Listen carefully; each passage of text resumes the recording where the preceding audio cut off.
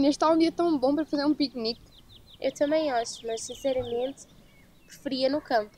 É verdade, mas também agora está tudo ardido. Mesmo que fizéssemos no fim do verão já não dava, ardia outra vez. Mesmo 2017 teve um incêndios devastadores. Mas eu acho que não vai continuar a ter incêndios assim como o ano anterior. Achas? Será que os figueirenses sabem disto tudo? Olha, e se fôssemos até à escola? Fazer o quê?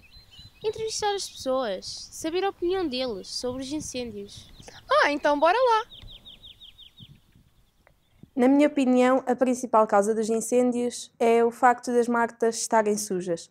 Não há limpeza das matas, logo, quer seja fogo posto, ou seja, por outras razões naturais, há muita probabilidade de haver uh, incêndios. Se pensarmos que uh, a seca é cada vez maior, uh, que os terrenos estão cada vez mais secos, que o clima está a aquecer, é muito provável que haja aí uma relação de causa e efeito. Eu penso que seja uma questão cultural. O fogo sempre esteve associado às tradições da, da agricultura e da pastorícia. Um, isso durante muito tempo ele não foi um problema, nos nossos dias é, por causa do abandono das, dos terrenos agrícolas e da grande quantidade de terrenos abandonados e com mato que existem.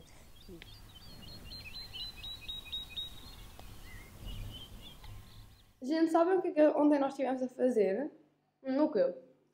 Estivemos na escola a fazer entrevistas sobre os incêndios. E como é que correu?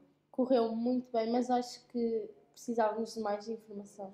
Eu também acho, foi muito bom, uh, mas quanto mais melhor. Oh, até se, fosse, se fôssemos tipo para uh, entrevistar pessoas que vivem da terra, assim, mais, têm mais contacto com isso, ou até especialistas. Eu acho Foi uma, uma ótima ideia. ideia. Vamos!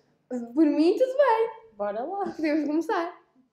Na minha opinião, os incêndios nesta região têm muito a ver com a utilização do solo, com eh, uma situação de abandono muito grande e com, a, com os hábitos dos, dos utilizadores destes espaços, nomeadamente os pastores, que muitas vezes veem estes espaços como abandonados, acham, acham que estes espaços não têm valor e aproveitam para para os seus rebanhos, pronto, para a atividade da pastorícia e neste sentido ter espaços limpos, sem uma vegetação arbustiva e mato, é muito mais rentável e fácil de utilizar. Será mais a pastoria, os homens, os, os pastores, pronto. E para, para, para, terem melhores pastos, para utilizarem melhor os terrenos, para terem melhor, melhores condições para o gado, queimam sempre, né, ou quase todos os anos, aquelas em que temos a certeza que tivemos conhecimento a posteriori pelas autoridades, será mão criminosa. É a mão do homem, principalmente. 98% das estatísticas é o que conta. Bem, depois de conversarmos com estas pessoas todas, uh, ficámos a saber que as principais causas dos incêndios na nossa região é sem dúvida a não limpeza das matas, a seca e o clima quente. O abandono dos terrenos, o interesse pessoal dos pastores. Ah, e não te esqueças, a mão criminosa. É verdade. Mas será que foi sempre assim? Não, não tinha, não tinha nada a ver com, com, a, com esta situação, porque se calhar, infelizmente, a densidade populacional era tão elevada, as pessoas tinham necessidades de, de, ter recursos, quer alimentares, quer energéticos, então aproveitavam-se tudo e mais alguma coisa.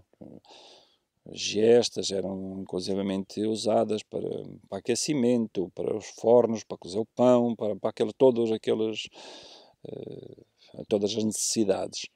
Os terrenos, em geral, era quase tudo semeado, uh, até inclusivamente muitos terrenos eram enxada, não havia, os animais não entravam lá, não havia tratores nesse tempo, e era com machos e com burros. Antigamente, mesmo nos verões, ou seja, as chuvas eram mais distribuídas, mesmo que não fosse durante agosto ou julho, mas mesmo assim havia sempre alguma chuva já em setembro ou até junho, um bocadinho. Agora encontram-se seis meses seguidos sem, sem uma pinga d'água e isso se acresce muito a intensidade dos incêndios. Para meninas, temos aqui respostas muito boas para as nossas perguntas, mas eu concluí que uma só pessoa não consegue fazer o trabalho todo sozinha. É, realmente, uma só pessoa é difícil. Será que conseguimos encontrar soluções em comunidade? Eu acho que sim. Vamos ver. Bora! O que temos, o que temos feito aqui uh, tem sido, sobretudo, fazer ações de prevenção, quer seja por uh, limpeza de faixas, quer seja por fogo controlado, quer seja por demonstração de boas práticas. Uh, eu acho que isso tudo no conjunto tem dado bons resultados. Podia passar pelas escolas, campanhas de sensibilização na escola, mobilização de associações juvenis, como por exemplo vemos os escuteiros, eles podiam podiam ajudar e colaborar nesse sentido, porque estão muito ligados diretamente com, com a natureza. Envolver a população local.